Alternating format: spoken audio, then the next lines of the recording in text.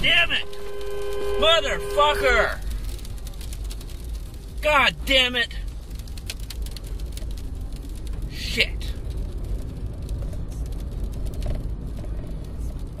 Oh,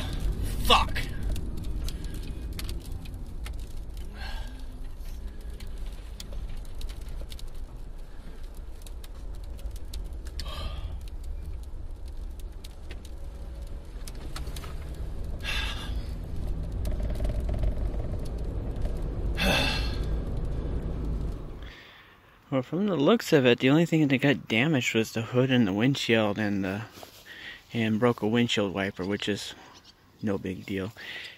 Headlights are still perfectly aimed. They didn't get affected, thankfully, because I worked my ass off building those. And I hope that little ding right there is no big deal.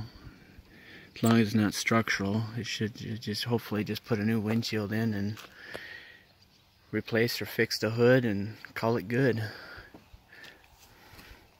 I was supposed to hit 199,000 miles in the next day or so.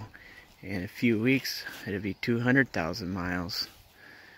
So, I'm hoping they can fix this so I can make it to 200,000 miles and keep driving it until it's about ready to drop.